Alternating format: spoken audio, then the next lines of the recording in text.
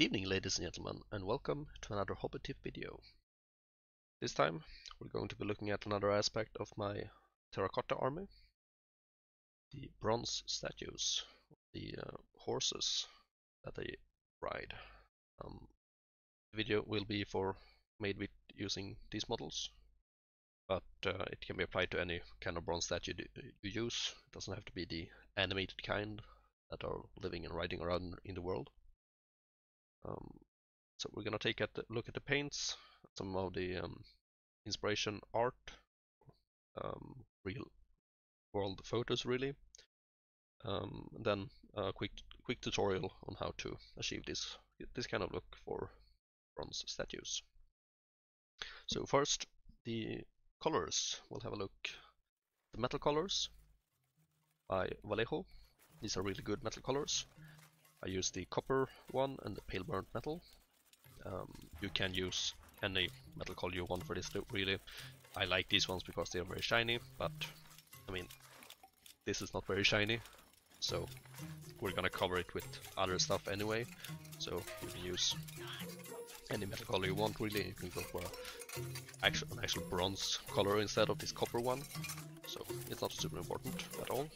I'm going to use a black ink. I use the Daler-Rowney one. You can use any, any you like. Like this one because it has a very high pigmentation.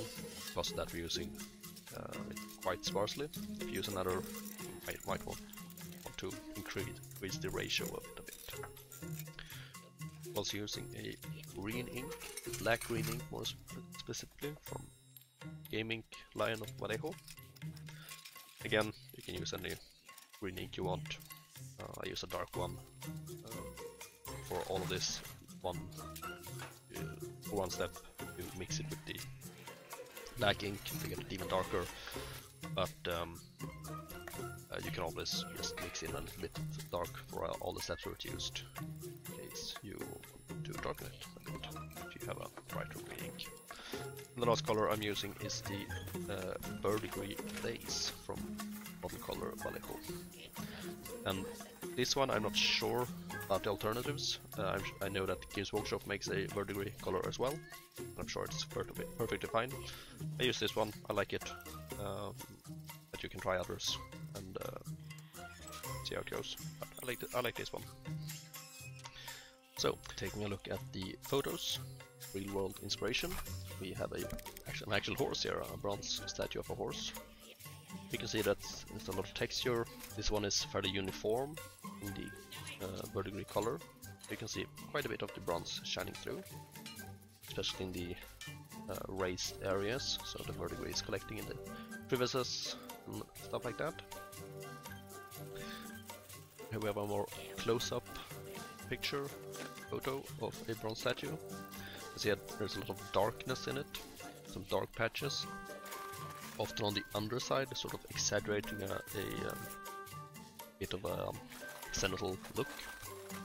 So it's hard to tell from the picture, but the uh, art underneath here, whatever it's, it's a parchment he's holding, looks a bit darker. It can be just be the light, but it's also fairly possible that it's um, the, the verdigris itself is darker those areas. We can see another statue uh, with quite a lot of bronze shining through and a lot of dark patches again. Um, it's a lot of variation. You can compare the colors of these different pictures and see that they're not exactly the same.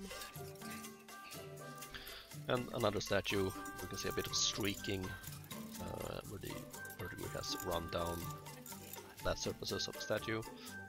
And again some very dark patches. Uh, and on this one, very little of the bronze color shining through. So, all in all, some strong variations. We have a fairly obvious uh, highlighting on many of these.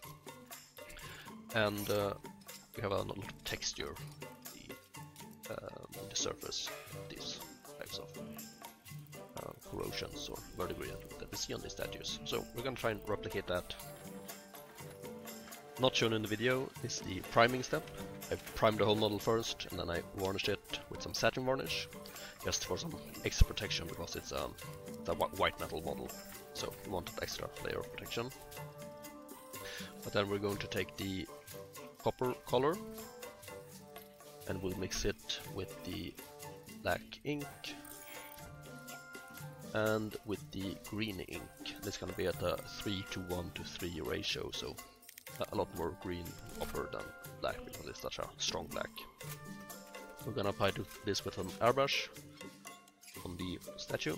And we're gonna focus on the underside because that's where this color will be most visible. Um, but you can cover the whole model as well, and you can do it with a, with a brush as well, it's just faster with an airbrush. As you can see here, although this is sped up a bit. Next we're going to apply just the pure copper color. This is done at a zenithal angle to create a basic highlight of the model. Um, so see here, about 45 degrees on top.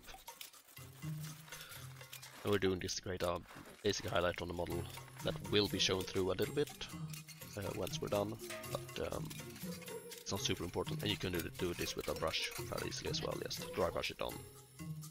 And the final step is to apply the copper, again mixed with some silver pale burnt metal here, uh, and it's a one to one ratio basically. we're going to do that directly from the top, again creating this basic highlight that will be visible even underneath our verdigris. Again, you can do this, with a dry brush, brush as well. Next we will move on to the paint desk and we'll take a new palette, mix the paint on, uh, new and clean, we don't want the color to pick up flakes from underneath. These are the colors we're using, the verdigris and the dark green ink.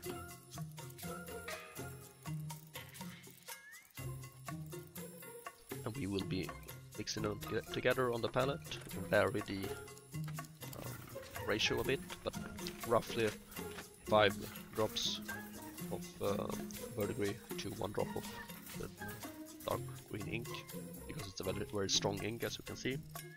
So I'm just going to take my brush here and take a little bit of the ink and mix into verdigris to darken it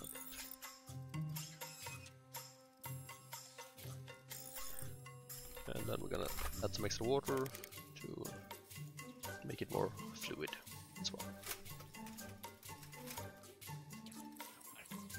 Something like this, you want a fairly loose consistency. Then we're just gonna slather it on there. Just get it onto that, that statue.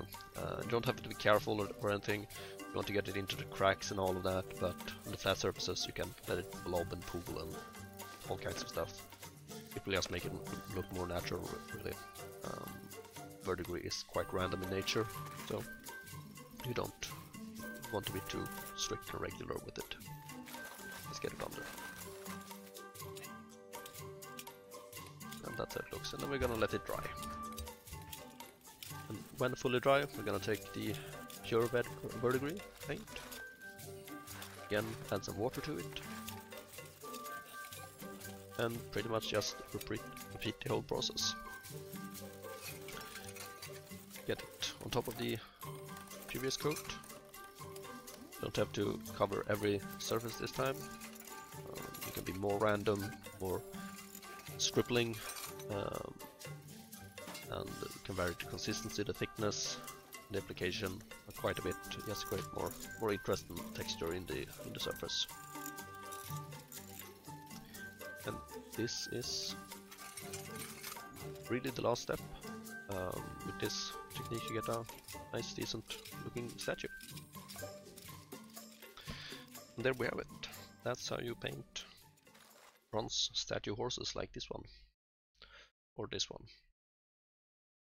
And you can see on, on the character one here, uh, I have done a little bit of stippling as well with some black colors so on the hind here you can see there's some patches of black. I did that as an extra step on the character one, uh, just to make it stand out a little bit, um, or stand up, uh, up to scrutiny a little bit more perhaps. you just take a, a fairly large brush and just stab the miniature with some black dark ink. Again, water down. You don't want this too want it too stark, but it's fairly simple to do. So this is the kind of result you can get.